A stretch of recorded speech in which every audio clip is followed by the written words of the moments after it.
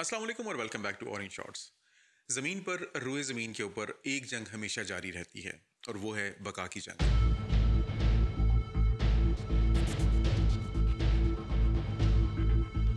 چاہے وہ انسانوں کی ہو یا دوسرے جانداروں کی، باقی وہی رہتا ہے جو اس بقا کی جنگ کو جیت جائے۔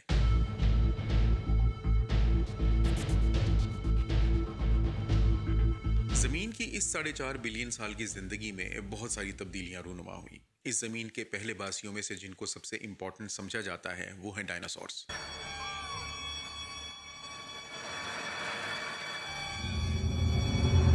دیوہیکل ڈائناسورس نے اس زمین کو ایک عرصہ تک آباد رکھا اور ان کی کئی اقسام اس زمین کے اوپر تقریباً پینسٹھ ملین سال تک زندہ رہیں، آباد رہیں اور راج کرتی رہیں۔ ڈائناسورس کی اس نسل کی ایک خاص بات ان کی دیوہیکل جسامت تھی۔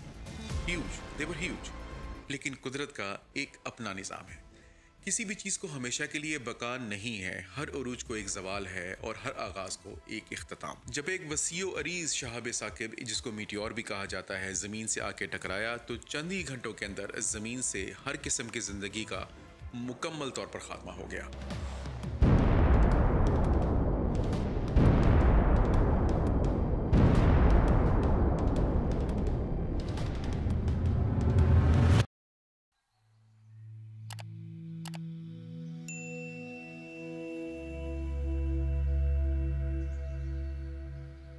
زمین سے نہ صرف ڈائناسورس بلکہ ہر قسم کی زندگی مکمل طور پہ ختم ہو گئی۔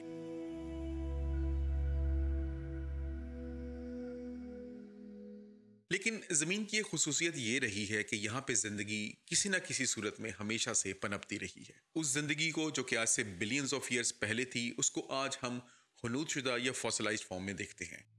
آج ہم ماضی کے ان چھوٹے چھوٹے ذرات کو اکٹھے کر کے ایک تصویر مکمل کرنے کی کوشش کرتے ہیں۔ اور مختلف ٹیکنیکس کی مدد سے یہ جاننے کی کوشش کرتے ہیں کہ وہ جاندار تاریخ کے کس دور میں زمین کے اوپر زندہ تھا۔ لیکن زمین کا صرف تیس فیصد حصہ only around thirty percent is the land زمین کا ستر فیصد حصہ تو پانی ہے۔ وسیع و عریض تا حد نگاہ تک پھیلے ہوئے سمندر، جن پر کشتیاں ڈولتی ہیں اور بحری جہاز چلتے ہیں۔ لیکن اسی سمندر کے بارے میں کچھ حقائق ایسے ہیں جو کہ چٹلا دینے والے ہیں۔ پہلی حقیقت یہ کہ ٹیکنالوجی اتنی جدید ہونے کے باوجود اور اتنی زیادہ اچھی مشینریز ہمارے پاس ہونے کے باوجود اور computers and with all of that stuff ہم لوگ سٹل چاند اور مریخ کے بارے میں زیادہ جانتے ہیں، لیکن اپنی زمین کے اس ستر فیصد حصے، جس کو کہ سمندر کہا جاتا ہے، اس کے بارے میں ہماری معلومات بہت کم ہے آج ہمیں اپنے سمندروں کے بارے میں آگاہی پہلے سے تھوڑی سی زیادہ تو ہے لیکن مقابلتاً اگر ہم باقی تمام معلومات کا مقابلہ کریں تو یہ بہت کم ہے۔ دوسری حقیقت، کیا آپ لوگ جانتے ہیں کہ سمندر کا نوے فیصد حصہ ایسا ہے کہ جس کو آج تک انسان نے چھوا بھی نہیں ہے؟ اور کیا آپ لوگ یہ جانتے ہیں کہ زمین کے اوپر جتنی بھی زندگی کی اشکال موجود ہیں یعنی کہ all the forms of life that we know جنہیں ہم جانتے ہیں، ان میں سے اسی فیصد زندگی سمندر کے اندر رہتی ہے۔ اور سب سے بڑھ کر یہ کہ پوری زمین کے اوپر وہ جگہ جہاں پہ زندگی سب سے زیادہ آرام سے رہ سکتی ہے اور رہتی ہے، اس کا ستانوے فیصد یعنی کہ ninety seven percent of area زیر سمندر ہے، سمندر کے نیچے ہے، سمندر کے اندر ہے۔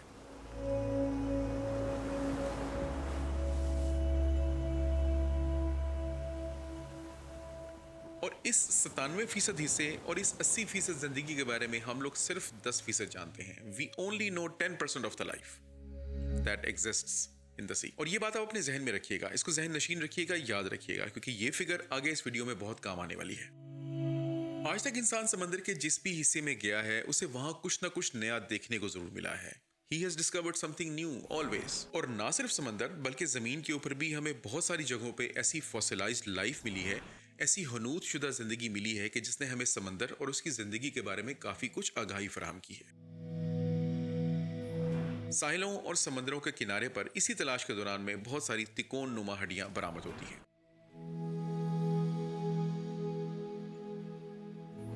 And they are determined to be teeth لیکن اس وقت، اس زمانے میں جب یہ ہڈیاں ملنا شروع ہوئی تو خیال یہ کیا جاتا تھا کہ سمندر کے اندر کوئی بڑے بڑے سانپ رہتے ہیں، یا تو یہ ان کے دانت ہیں اور یا پھر ڈریگنز کے دانت ہیں۔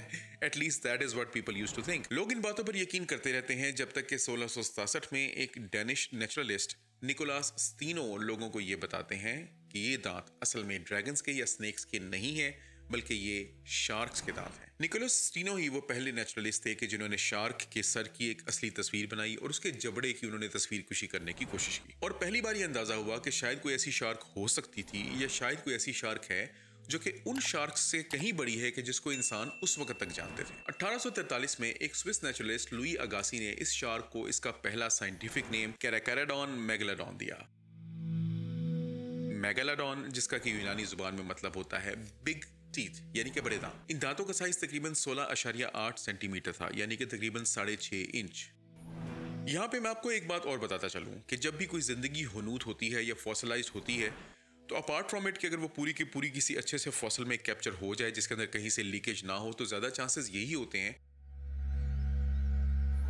کہ اس جسم کی وہ والی ہڈیاں جو کہ گل سڑ سکتی ہیں یا جن کو پانی اور نمکیات جن پہ اثر انداز ہو سکتے ہیں، وہ باقی نہیں رہیں گی۔ شارکس کے یہ جو دانت ملے تھے، یہ ڈفرنٹ اینیملس ڈفرنٹ کریچرز کے اندر ملے تھے جن کو کہ شارکس نے کھایا تھا۔ ویلز کے اندر ملے تھے شارکس کے اندر ملے تھے سی لائنس کے اندر ملے تھے کہ جن کو شارک نے جب کھانے کی کوشش کی ہوگی تو ایک کا دانت وہاں پہ رہ گیا ہوگا۔ اور یہ فاسلز چونکہ اتنے اچھے طریقے سے پرزروڈ نہیں تھے، سمندروں کے کنارے آباد تھے، تو ڈیفینیٹلی پھر باقی ہڈیوں کا کچھ زیادہ بچا نہیں۔ اور دانت ہمیشہ بچ جاتے ہیں۔ اور دوسری امپورٹنٹ یہ بات ہے کہ جب شارک کے اسٹرکچر کو اسٹڈی کیا گیا تو ایک اور اہم چیز یہ ہے کہ شارک کے ان دانتوں کے علاوہ اس کا جو میکسیمم اسٹرکچر تھا وہ کارٹیلیج سے بنا ہوا تھا۔ کارٹیلیج نرم ہڈی ہوتی ہے تو وہ نرم ہڈی ظاہری بات ہے، اتنے عرصے تک، اتنے سالوں تک فوسلائز نہیں رہ سکتی۔ تو پھر صرف اور صرف دانت ہی رہ گئے تھے۔ ان دانتوں کی جب کاربن ڈیٹنگ کی گئی تو ہمیں سب سے پرانا نمونہ جو ملتا ہے وہ آج سے تقریباً اٹھائیس ملین سال پہلے کا ہے۔ اور انہی نمونوں کی کاربن ڈیٹنگ کے بعد جو جدید ترین نمونہ جس کو ہم کہہ سکتے ہیں دانتوں کا ملا وہ آج سے تقریباً ساڑھے تین ملین سال پرانا ہے۔ اس لیے یہ خیال کیا جاتا ہے کہ شارکس کی یہ والی قسم اٹھائیس ملین سال سے لے کر آج سے تقریباً ساڑھے تین ملین سال تک زندہ رہی ہوگی۔ اس کے بعد شکل میں، سائز میں، دانتوں کی شیپ میں ہمیں کافی زیادہ یہ گریٹ وائٹ شارک سے ریزمبل کرتی ہوئی نظر آتی ہے۔ لیکن اب سٹڈیز اس بات کو انڈیکیٹ کرتی ہیں اور اب یہ ایک ویل انڈرسٹوڈ فیکٹ ہے کہ اصل میں میگلاڈون شارک جو ہے وہ گریٹ وائٹ شارک سے کسی بھی طرح سے ریلیٹڈ نہیں ہے۔ شیپ، کام کرنے کا طریقہ اور باقی ساری چیزیں وائٹ شارک سے ملتی ضرور ہیں but they are not from the same family اب چونکہ میں نے آپ کو تھوڑی دیر پہلے یہ بات بتائی کہ شارک کے ڈھانچے کا یعنی اسکیلیٹن کا میکسیمم حصہ جو ہے وہ کارٹیلج سے بنتا تھا اور وہ کارٹیلج زیادہ پرزرو نہیں ہو سکی، زیادہ حنوت نہیں ہو سکی۔ اس لیے اس شارک کے ایگزیکٹ سائز کا اندازہ لگانا تو مشکل ضرور ہے، لیکن اس کے دانتوں کے حساب سے اس کے جسم کا سائز کا ایک اندازہ ضرور لگایا گیا ہے۔ اور ایک محتاط اندازہ کے مطابق اس کا سائز تقریباً 14.2 میٹر سے لے کے 20.3 میٹر تک کے آس پاس تھا۔ That is around 47 to 67 feet اور ساتھ ہی ساتھ یہ خیال بھی کیا جاتا ہے کہ میگلاڈون کے یہ جو جتھے جو دنیا کے مختلف حصے میں رہتے تھے، ہو سکتا ہے مختلف حصوں میں رہنے کی وجہ سے مختلف حصوں کا سائز ایک دوسرے سے تھوڑا بہت ڈفر کرتا ہو، تھوڑا بہت مختلف ہو۔ جدید ماڈلز بنا کر جب اس فورس کا اندازہ لگانے کی کوشش کی گئی کہ جب یہ میگلاڈون کسی بھی چیز کو اپنے جبڑے میں دباتی تھی تو اس کے جبڑے میں فورس کتنی ہوتی تھی تو اس کا اندازہ بیس ہزار سے لے کے چالیس ہزار پاؤنڈ فورس تک لگایا گیا ہے۔ اس کے مقابلے میں اگر آپ آج کی گریٹ وائٹ شارک کا اندازہ کریں تو اس کے جبڑے کی قوت اور جبڑے کی طاقت تقریباً چار ہزار پاؤنڈ فورس کے برابر ہے۔ تو میگلاڈون کے پاس یہ جو قوت تھی کسی بھی چیز کو جبڑے میں پکڑ کے دبانے والی یہ تقریباً دس گنا زیادہ تھی۔ میگلاڈون جو ہے وہ اپنے ہیبیٹیٹ کا الفا اینیمل تھا۔ اگر آپ الفا اینیمل کی بات کریں تو یہ وہ ہوتا ہے جس کو ہم کہتے ہیں کہ یار اپنی ہیبیٹیٹ کا بادشاہ۔ جس طرح جنگل کا بادشاہ شیر کو کہا جاتا ہے نا، اور اس کو الفا پریڈیٹر اس لیے کہا جاتا ہے کہ آلموسٹ ہر جاندار اسے ڈرتا ہے۔ وہ کسی بھی قسم کے جاندار کو چھوڑتا ہی نہیں ہے۔ ہاتھی کو وہ کھا لیتا ہے، ہرن کو وہ کھا لیتا ہے۔ بہت سارے جانداروں کو کھا سکتا ہے۔ That is why it is called as alpha predator megalodon سمندر کی الفا پریڈیٹر تھی۔ سمندر میں یہ صرف اور صرف چند قسم کی فش کو نہیں کھاتی تھی، بلکہ there was a wide variety of fish جس کو کہ میگلڈون کھایا کرتی تھی۔ اور اس وجہ سے میگلڈون میں میلز جو تھے، نر جو تھے، ان کا جسمانی وزن بارہ سے لے کے چونتیس ٹن تک تھا۔ اور ان کی فیمیلز کا وزن تقریباً سکسٹی سیون ٹنز تک جاتا تھا، ستاسٹھ ٹن تک کی ان کی فیمیلز ہو سکتی تھی۔ اور اتنی بڑی جسامت اور اتنے زیادہ وزن کے باوجود یہ تقریباً اٹھارہ کلومیٹر فی گھنٹہ کی رفتار سے پانی میں تیر سکتی تھی۔ اٹھارہ کلومیٹر فی گھنٹہ کی رفتار سے اتنے بڑے جسم کا پانی کے اندر تیرنا یہ کوئی چھوٹی بات نہیں ہے۔ میگلاڈون کے ان سکیچز کے بعد، یہ جو نیچرلسٹ تھے، ان کی ان سب باتوں کے بعد پہلی کوشش جو کی گئی میکلیڈون کے جبڑے کو ریکنسٹرکٹ کرنے کی، وہ انیس سو نو میں کی گئی۔ اور یہ کوشش کرنے والے جو حضرت تھے، ان کا نام تھا بیش فورڈ ڈین۔ لیکن آف کورس آہستہ آہستہ وقت گزرنے کے ساتھ ساتھ یہ اندازہ ہوا کہ انہوں نے یہ جو جبڑا کنسٹرکٹ کیا ہے، یہ ایکچوئل میں درست نہیں ہے۔ اس میں دانتوں کی ارینجمنٹ ٹھیک نہیں ہے، دانتوں کی تعداد ٹھیک نہیں ہے and it is probably wrong سائنسدان یہ بلیو کرتے ہیں کہ شاید میگلاڈون ابھی تک نان ایگزسٹنٹ ہو چکی ہے۔ اور یاد رکھیے گا سٹریس بلیونگ کے اوپر ہے۔ ان کا یہ بلیو ہے کہ شاید میگلاڈون اب ایگزسٹ نہیں کرتی۔ اور ان کے اس یقین کی چند ایک وجوہات ہیں۔ زمین کے اوپر آئس ایج کئی بار آ چکی ہے۔ کس کس نے ویسے آئس ایج کی مووی دیکھی ہوئی ہے؟ اور کسی نے دیکھی ہوئی ہے۔ تو اگر آپ نے وہ آئس ایج کی مووی دیکھی ہوئی ہے نا کارٹونس کے علاوہ اس میں جو چیزیں دکھائی گئی ہیں they are very close to actual you know the reality جو ہمیں پروف ملتا ہے۔ اس میں میگلاٹون کی زندگی میں جو قابل ذکر آئس ایج ہے، وہ آج سے تقریباً پینتیس ملین سال پہلے شروع ہوئی۔ یعنی کہ برف، زمین کے اوپر برف جمنا شروع ہوئی، جو کہ بعد میں سمندروں تک پھیل گئی۔ یہ جو آخر میں گلیشیئرس پھیلے تھے، یہ کام ہوا آج سے تقریباً پانچ سے لے کے بارہ ملین سال پہلے۔ اس برف پھیلنے کی وجہ سے اور ساتھ میں جگہ جگہ پہ جو لینڈ تھا، اس کے راستے بند ہونے کی وجہ سے ایک یہ بات سمجھی جاتی ہے اور ایک یہ بات کہی جاتی ہے کہ آہستہ آہستہ میگلاڈون کے لیے فوڈ کا بیسکلی راستہ ختم ہو گیا۔ چونکہ میگلاڈون بہت بڑی ہے سائز میں اور یہ ٹنز آف فوڈ روزانہ کھاتی تھی ٹنز آف فش روزانہ کھاتی تھی۔ ایک یہ خیال کیا جاتا ہے کہ ویلز نے پولز کے پاس رہنا شروع کر دیا فریزنگ آئس قسم کے سمندروں میں، لیکن میگلاڈون شاید وہاں تک نہیں پہنچ سکی۔ اور جب کھانا نہیں پہنچ رہا تھا تو آہستہ آہستہ میگلاڈون ایکسٹینٹ ہونا شروع ہو گئی۔ اور ایک خیال یہ بھی کیا جاتا ہے کہ چونکہ میگلاڈون ہمیشہ سے صرف درمیانے سے گرم پانیوں کے اندر رہتی تھی اور بہت ٹھنڈے پانیوں میں نہیں جاتی تھی، تو جب پانی زیادہ ٹھنڈا ہوا، تو میگلاڈون ویسے ہی ایکسٹنکٹ ہو گئی۔ لیکن لیٹسٹ سٹڈی کے مطابق میگلاڈون ایک میسوتھرم اینیمل تھا۔ آسان الفاظ میں، یہ کولڈ بلڈڈ اور وارم بلڈڈ اینیملز جو ہیں، ان کے درمیان کی چیز ہوتی ہے۔ یعنی کہ یہ اپنے باڈی ٹیمپریچر کو اپنے ایٹماسفیئر کے حساب سے ایڈجسٹ کر سکتی ہے۔ تو لہٰذا یہ تھیوری کہ میگلاڈون جو ہے، وہ سردی کی وجہ سے مر گئی ہوگی، یہ تو ویسے ہی تھیوری دم توڑ گئی۔ لیکن ہاں ایسا ضرور ہے، یہ خیال ضرور کیا جاتا ہے کہ اتنی شدید ٹھنڈ میں جب بہت ساری دوسری سپیشیز فش کی ایکسٹنکٹ ہوئیں، اور ایک خیال یہ کیا جاتا ہے کہ وہ جو پیریڈ تھا نا، پینتیس ملین سال سے لے کے اور بارہ ملین سال پہلے تک کا، اس میں تقریباً پینتیس فیصد میرین لائف جو تھی وہ ختم ہو گئی تھی اپروکسیمیٹلی تو یہ فوڈ کی ایک ایکسٹریم قسم کی شارٹیج ہے، جس کو شاید میگلاڈون برداشت نہ کر پائی ہو اور آج سے پانچ ملین سال پہلے کے آس پاس ایکسٹنکٹ ہو گئی ہو۔ لیکن میرا اس کے بارے میں خیال تھوڑا سا مختلف ہے۔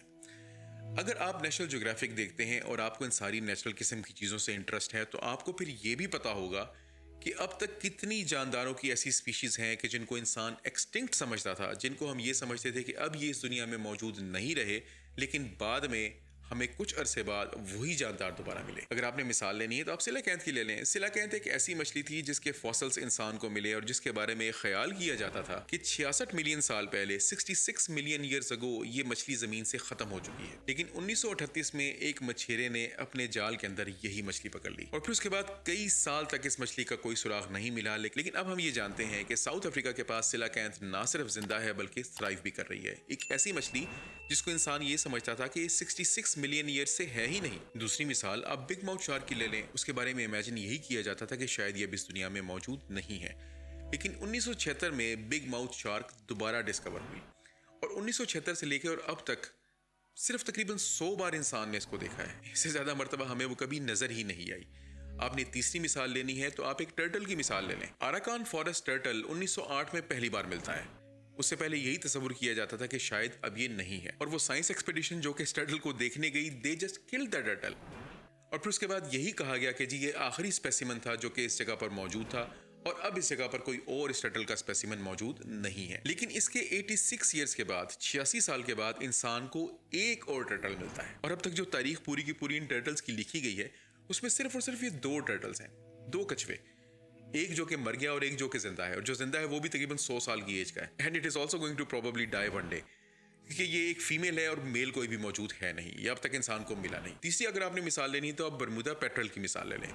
یہ ایک پرندہ تھا جو کہ صرف برمودا کے جزیرے پر رہا کرتا تھا۔ جب برطانیہ نے یہ کوشش کی کہ وہاں پہ وہ لوگوں کو آباد کرے تو ساتھ میں جب وہ اور جانداروں کو لے کے آئے تو وہ سب چیزیں پیٹرل کے لیے بہت اچھی ثابت نہیں ہوئی سولہ سو بیس کے بعد یہ ڈکلیئر کر دیا گیا کہ یہ پرندہ اب زندہ نہیں ہے۔ لیکن انیس سو اکاون میں برمودا پیٹرل دوبارہ سائٹ کیا جاتا ہے اور اب وہ دوبارہ نہ صرف یہ کہ زندہ ہے بلکہ تھرائیو کر رہا ہے۔ اب ان سب چیزوں کے ساتھ آپ ایک بات اور کمبائن کریں۔ میں نے آپ کو ویڈیو کے درمیان میں کہا تھا کہ آپ نوے فیصد کی فگر یاد رکھیے گا۔ وہ ہیبیٹیٹ جہاں پہ جاندار رہ سکتے ہیں اور زندہ رہ سکتے ہیں، وہ سمندر کے اندر نائنٹی سیون پرسینٹ ہے۔ زندگی جس کو کہ ہم جانتے ہیں، وہ ایٹی پرسینٹ سمندر کے اندر ہے۔ اور اس کمبائنڈ ایریا کا ہم صرف اور صرف دس فیصد جانتے ہیں۔ نوے فیصد سمندر ایسا ہے کہ جس کے بارے میں ہم کچھ بھی نہیں جانتے۔ تو آپ کا کیا خیال ہے؟ کیا یہ چانسز نہیں ہو سکتے کہ یہ شارک شاید ابھی بھی زندہ ہو؟ لیکن اگر آپ مجھ سے پوچھیں تو میرا خیال ہے کہ شاید ہو سکتا ہے یہ کہیں پہ ہو۔ دیر آر چانسز اور ویسے بھی نیچرلسٹ اور بایولوجسٹ جہاں پہ بھی الفاظ استعمال کرتے ہیں، وہ یہ کبھی بھی نہیں کہتے کہ یہ ثابت ہو چکا ہے کہ میگلاڈون اب زندہ نہیں ہے۔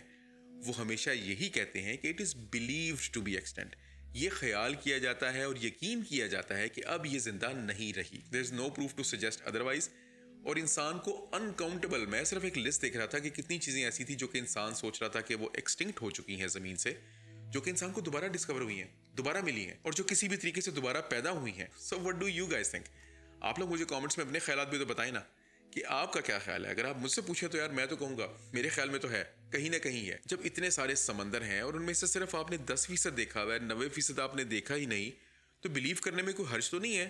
لیکن میرا خیال ہے پازیٹیو طریقے سے سوچنے میں بھی کوئی حرج نہیں ہے۔ اگر آپ ادروائز سوچتے ہو تو مجھے بتائیے گا ضرور اور کامنٹس میں ضرور مینشن کیجیے گا۔ اس کے علاوہ اگر آپ یہ دیکھنا چاہ رہے ہو کہ سب سے گہرا سمندر کون سا ہے اور وہاں پہ کون کون سے جاندار رہتے ہیں، تو وہ ویڈیو لنک ہوگی یہاں۔ اور اگر آپ ٹائٹینک کے سسٹر بریٹینک کے بارے میں جاننا چاہتے ہیں کہ وہ کیسے ڈوبا تھا، تو وہ ویڈیو لنک ہوگی یہاں۔ اگلی ویڈیو تک اپنا بہت سارا خیال رکھیے گا، دعاؤں میں یاد رکھیے گا۔ With tons of love to my Orange Shorts family and to be Orange Shorts family this is me زاہد نثار آپ لوگ دیکھ رہے ہیں اور ان شارٹس اور اگلی ویڈیو تک اللہ حافظ